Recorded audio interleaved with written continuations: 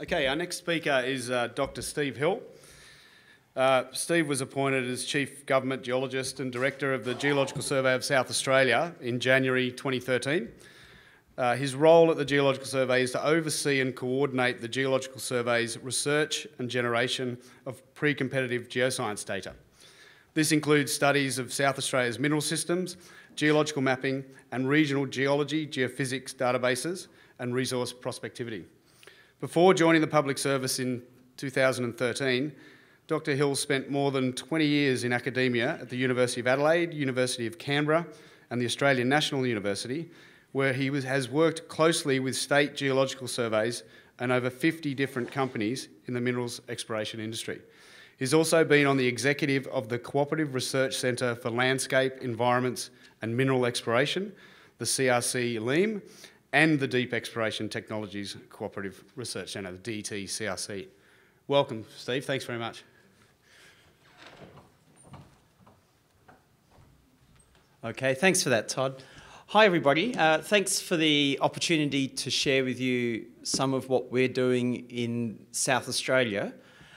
I must preface some of this by saying that it's great to see a lot of familiar faces, a lot of new faces, but a couple of people that we've been working on with, for some of this work, in particular Yulia at the back here, which I think everyone knows Yulia, and also Aaron. And so with that sort of technical know-how in the room, what I'm keen to do today is just share with you a bit about, yeah, broadly what we're doing, but actually a little bit more about why we're doing it. I'm finding that from a geological survey perspective, and, and the use of portable XRF, uh, it, it's really important to actually go into it saying, well, what are we really trying to achieve? I think there's been a lot of surveys have a go with, with this sort of technology, um, but, but I want to show you that if you think about why you're doing it, then the outcomes can be really exciting. Okay, so let's have a bit of a look at that.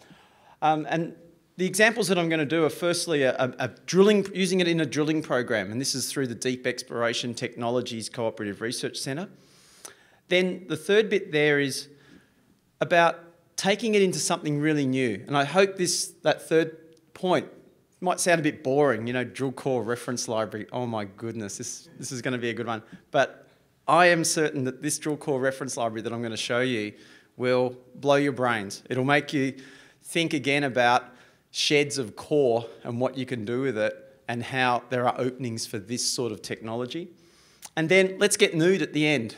What I'm talking about there is actually something way into the future, and that is let's drill a whole continent and look at how we can use this technique there. And I don't actually know the answers to that last bit, I barely know the answer to the first few, but I definitely don't know the answer to the last one. And that's, that last point there is something that I really want to sort of stimulate perhaps either some discussion or further thought. So let's get into it.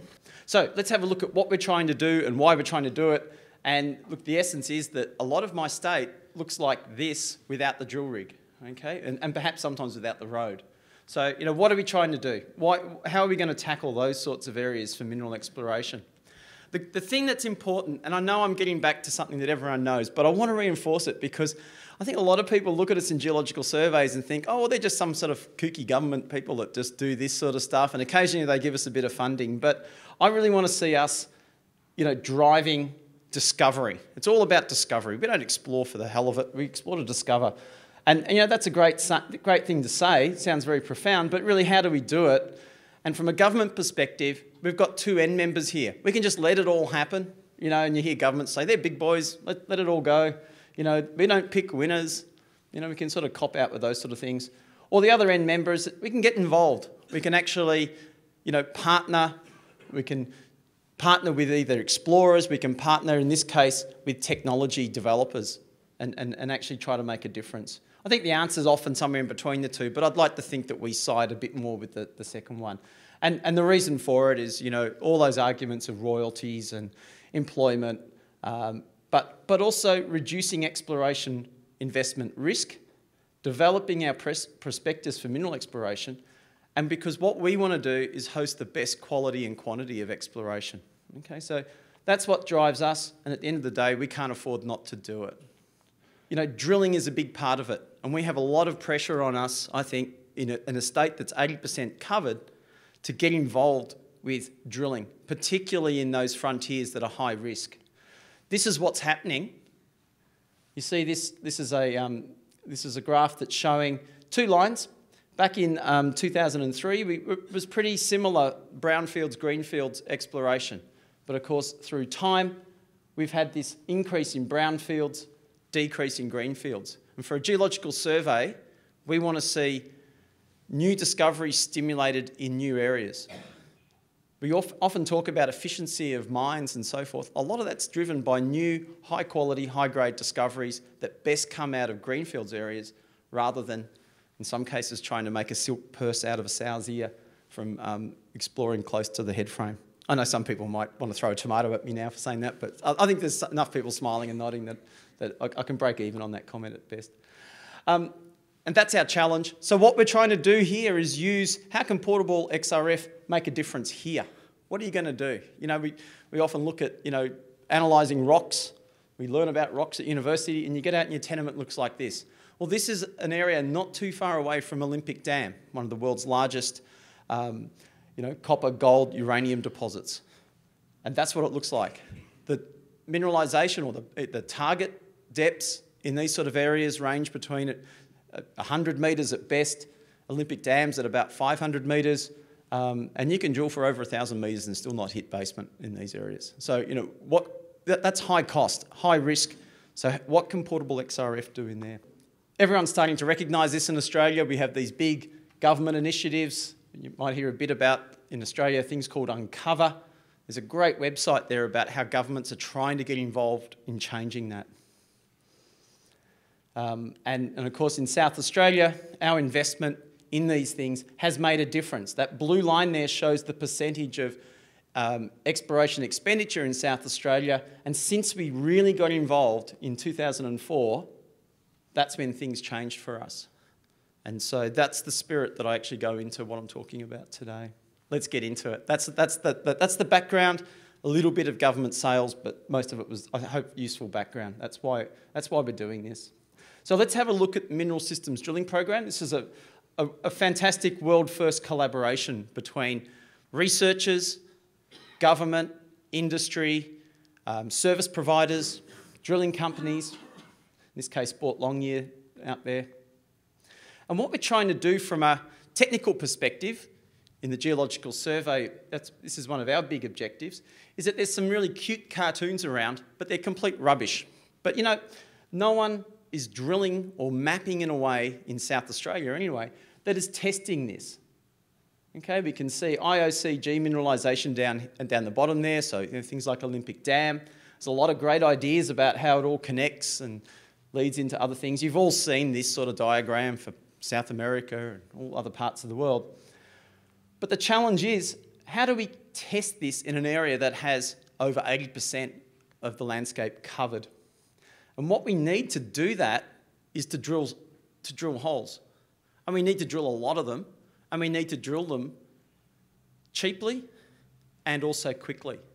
And that's where, in that equation, I'm going to show you today that, that portable XRF has a place. The objective from an exploration perspective, of course, is enlarging your targets and also being able to, to work out how to follow up with hole number two, three, four onwards. There's an awful lot of exploration in Australia in these covered areas that is effectively bump or drilling bumps. All right, geophysical surveys been done. We'll put a hole in it. You know, we'll, we'll promise our board that this is the this is part of a system. We'll put a hole in it, and it's it's more miss than hit. Very few things are found with the first hole. So what do you do?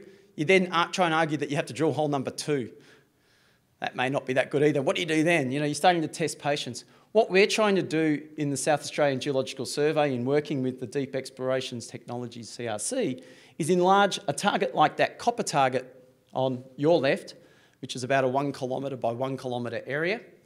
And we've started to map out the alteration system around it. In this case, that's showing mineralogy, but we're also doing it using geochemistry. And, and a lot of the thresholds we're looking at are appropriate for use with portable XRF. And by doing this, we're enlarging the target. We're now creating a haystack instead of a needle, but we're also creating the the capabilities of being able to vector within that space. You start to get a better feel for a near miss from a far miss. You can start to have an intelligent, informed conversation with perhaps yourself or your colleagues about where to drill next and what you learnt from that hole. So the way we're doing that, as I said, is through collaboration with Deep Exploration Technologies, CRC. And the, and the way they're going about it is to concentrate on three main aspects that they think will make a difference. They call it the three pillars, hence you get that sort of stuff over there on the left. But what they're looking at is top of hole analyses, lab at rig, getting information downhole using probes, autonomous sonde, and then really the, the next frontier that's still being developed, we're not currently using it out in our programs yet, but we're very keen to use it when it's available, is coil tube drilling. Okay, and what that's, what you might say, maybe I've heard of that before. What we're looking at here is coil tube drilling for hard rock environments. Okay, lightweight, lightweight rig, um, something that's quite portable, easy to move around, and the sort of aim that they have in DTCRC is to, is to radically reduce drilling costs, but also radically reduce the time it takes to make decisions.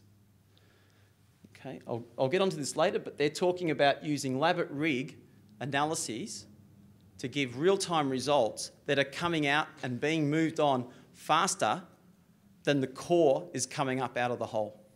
Okay. Just a bit of a thank you to, to the sponsors of, of, of, all of this research. I think just most of them have had a, bit, a fair bit of skin in the game, some of them a lot of skin in the game, but a fair bit. Uh, and then also onto some of the affiliates of the project as well. In order to set this up, it's not just a matter of going out in the bush and drilling holes and hoping that it all works. We've also put a lot of effort in South Australia in, in trying to set up a drilling research training facility. And it's at this facility, which is an old pyrite mine, um, that we've been testing a lot of the technologies, including the lab at rig technology. So using portable XRF in that lab at rig setup. Okay, so it's a disused mine. Uh, it's not that far out of Adelaide. It's only about a um, 45 minutes drive, maybe half an hour if Yuli is driving, um, to get up there and be able to have a look at all this, all this uh, equipment at work. As that's being tested, you need to get it out of the test conditions and out into the field. And that's what we've been driving at with this drilling program in South Australia. And to do that, we've set up a collaborative program with DTCRC, but also with industry, researchers and service providers. And to the best of my knowledge, this is a world first of getting those different groups together at the same time. We're collaborating, the two companies, Kingston Resources and Minotaur. Actually, I'll stop pointing with the aerial and use this. Um, and, and, what we're trying to do, you can see this Gawler Range volcanics. They're the 15, 90 million year old volcanics that are, the, are basically the same age as Olympic Dam. So we're looking here at part of a crustal section from that Olympic Dam aged event. And so the drilling we're doing is trying to inform us relative to that cartoon that I showed you earlier in the talk. This side in particular seems to be more prospective for iron oxide copper gold mineralisation. Out here, it's a bit of a frontier, but there's a lot more, well, it's felt to be a lot more potential for epithermal type systems or shallower crustal levels. I just want to just to highlight why collaboration is beneficial in this is that a $2 million input from the government has now been leveraged to more than a $7 million program for this. Okay, so this is a little bit out of date. I think we've now drilled uh, 10 holes and we're drilling in the west now, so this is, this is a bit behind. Um, but it's certainly up and going. It started in July, it should be finished by April. Um, and it's not just about testing that cartoon and doing the drilling, it's, it's drawing through these technologies. So lab at rig, different other parts of you know, downhole probes and so forth. I think the, um, I see Mike's down in there from Boart Longyear, is it? No, that, that there's potential for Boart Longyear to be, um, or they're currently um, have commercialised some of this. Um, we're also trying other research techniques off this, so um, seismic and, and so forth. And what we're trying to solve here is that problem of drilling, sample, measure, interp, and target but to do it in a time frame that the drill rig is still out there. So not getting your core, cutting it, sending it off to the labs, waiting a month or so to get your analyses back. We want to be making decisions in real time or at least while the drill rig's out there. And these are some of the results that we're getting from the lab at rig. I'm not going to pour too much into the technical layout of the lab at rig. There are some IP sensitivities there, and I don't. I think as a director of a geological survey, it's probably a bit beyond my mandate to, to start playing around with other people's IP in a presentation. But um, here we can see it um, in through here. Uh, it's connected to the solids recovery unit, which is in through there as well, that's connected to drilling. But this is the bit I just wanted to, to start off with um, tantalising you about. Here we see a log that's been performed by uh, a geologist on site, has to wait for the core to come up, you know, then look over it, you know, over the next day or something like that. But here we can see the results that are coming through in that drilling, as I said, faster than the core is coming through to the surface. And you can see range of elements through here. I Don't unpack that too much but picking out a lot of these major lithological breaks. The point of that is it's informing the logging, but it's also informing the decisions that are made on the drill rig in that time frame. That's a little bit more about the lab at rig. Here it is as a trailer mounted setup, um, the different parts on that trailer, but it does offer that flexibility also of other ways of, of, of mounting the unit. Some of the other things that, that concern people what it's actually looking at are the, are the rock powders that are coming from the drilling, that are coming up um, through the drills, through the annulus of the drill. And from that material that's often discarded, we're actually getting pretty good depth resolution. Here we can see a geological break at 964 metres, reflected in this chemical change at around about, it's about plus or minus a metre over 960 metres depth. So the depth resolution that's coming through on this is absolutely outstanding. The, the results that they're getting are actually so sensitive and so informative, you then have to start worrying about artefacts in the results. And in this case, you've got these big kicks for, for tungsten, moly, copper, iron, and chromium that are actually related to drill bit wear rather than real geology. This is going to start changing things because we're going to have to start knowing a lot more about the compositions of our drill bits and equipment, and perhaps even looking to design things that are not offering that same amount of contamination. What we're also getting though, speaking of artefacts, in this case are these kicks in zinc, which got everyone quite excited for a while there, but was later found to be relating to the grease that was used at rod changes. This is actually a real warning to everyone because what was happening was the geologists that were on site were looking at these results and then using them to inform their logging of the core, and they were logging lots of sphalerite. right? there, were, there, were, there were bits of sulfide in the drilling, but so I guess a word of warning there be careful. Think about what you're doing. You've still got to be a geologist. And then, once again, through um, Reflex and, and, and their hub, being able to do near real time rock discrimination. All this is available online. A lot of the data we're having a bit of a lag because we need to allow the companies and ASX, a, a, a stock exchange opportunity to, um, to release to shareholders and so forth. But um, a lot of the other updates are happening up there pretty quickly. So please get on board, have a look at this, keep updated with it. Over the next year, there'll be a whole lot of follow-on research. We're going to be doing um, you know, traditional geochemistry on the holes and traditional mineralogy. We also are very close to finalising an agreement with Minalyze. I think Axel spoke earlier, didn't you, Axel? That Still coming. Okay, no worries.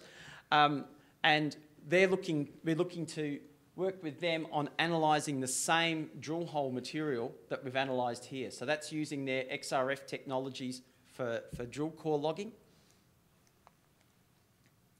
Okay, so that's one of the things we're doing. I know I've sort of given you a bit of a taste or a bit of a run through it. As I said, please talk to people like Julia and Aaron for a lot more of the technical details. They're a lot more connected to the IP sensitivities there as well. Sorry for shirking that one a bit to you guys, but it's true.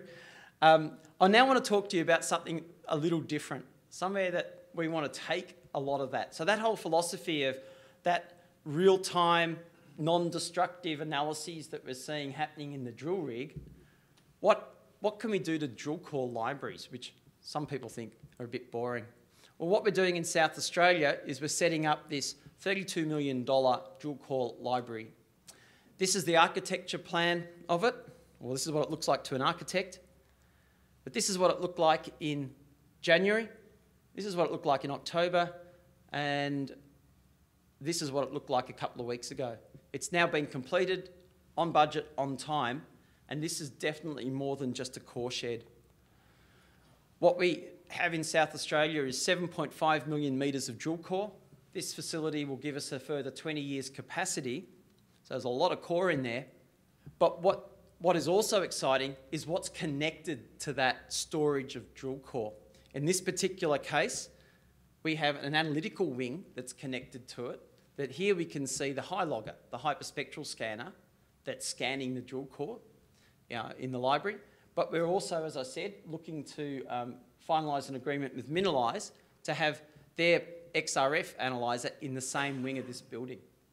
And the ambition here is to provide people that come to the core library with the ability to get near to real time, non-destructive analyses. I'm not, I don't want to see a, you know, a sort of conventional laboratory built here. There's plenty of service providers that do that. What we really want to see is the potential for people who visit the core library to be able to come away from that visit that day or next day uh, with some answers that, that take them beyond just a visual inspection of the core. So they're the sort of opportunities that are available. And then also with all of that data that's being produced, being able to view it, in this case in a in a immersive 3D laboratory, so backlit facility here, we can see Olympic dam holes with uh, uranium and copper geochemistry uh, presented on it. And essentially follow this vision, which was first I first saw presented by James Cleverley back couple of years ago, where we're starting to take core libraries beyond, as I said, just looking at trays of drill core. And I think portable XRF, portable XRD, the sort of things that we're talking about today, have a fantastic opportunity in this sort of space. Just to wrap it up, I've got one last thing that I just want to, to try and um, get you also thinking about, and particularly thinking about how can portable techniques be used in this, is if we can get that drilling as cheap as DT look to be getting it, so around about that less than $50 a metre cost, then all of a sudden for geological surveys, that the viability of doing large drilling campaigns, in this case through the Eastern Gawler, actually become quite viable. So this sort of array through here, and I'm not suggesting pattern drilling, I'm just done this just to model it out. This sort of array would cost, and, and the blue holes are ones that are already drilled, so the, the infill through there, would actually cost $6.5 million on that scheme. That's not beyond a reasonable uh, government input. It's, if you then take that back to the work that we've done on mineral system footprints, where we're looking at you know, 10 kilometre mineral system haystacks that we're targeting, then this sort of drilling would be pretty effective in being able to at least hit and give you some information on those mineral systems haystacks.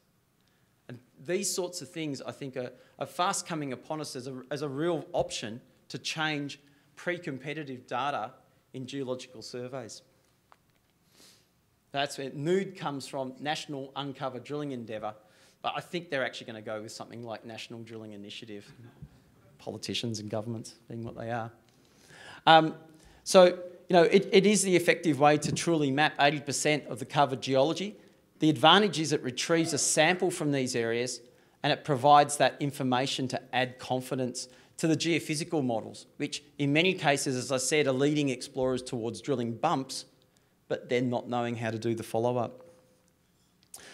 A bit of inspiration from geophysicists, physicists, they're not all bad. They already have a program going in Australia for 50 kilometre grid spacing of magnetotellurics data collection. So if they can do that, why can't we start doing the same with drilling and then looking to use the sort of lab at rig and other techniques? Some of the, quest- of some of the great things is cheaper, faster drilling is going to be needed. Land access for this will be a challenge. Funding the program, preparing it, getting people that can still run those sorts of equipment and technology. Um, how would just target the sites? What sort of spacing will be important?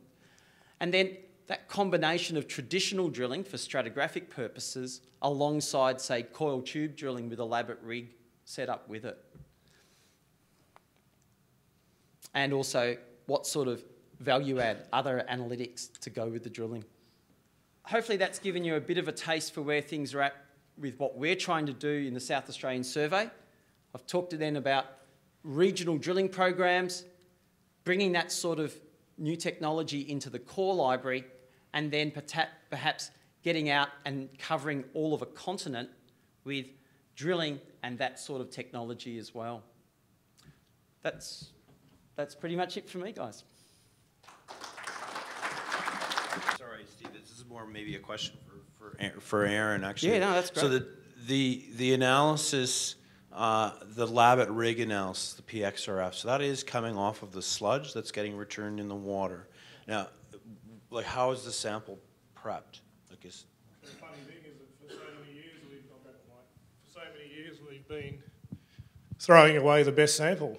Is that the drill bit's actually producing a very fine powder that's about 80% less than 40 micron. And there's actually a paper that um, Julian and I are publishing that's just about to come out fairly soon, all about this.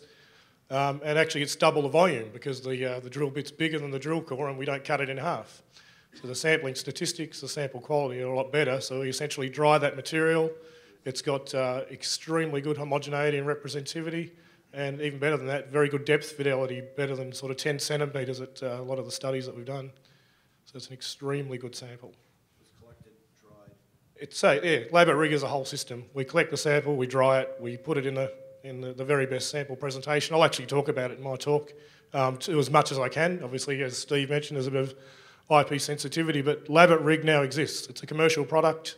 You can go to Reflex and talk to them about deploying it to your uh, to your site. Um, the fully automated one isn't quite here, but there's plenty of middle product that's ready to go. But we'll talk about it uh, more in the last session.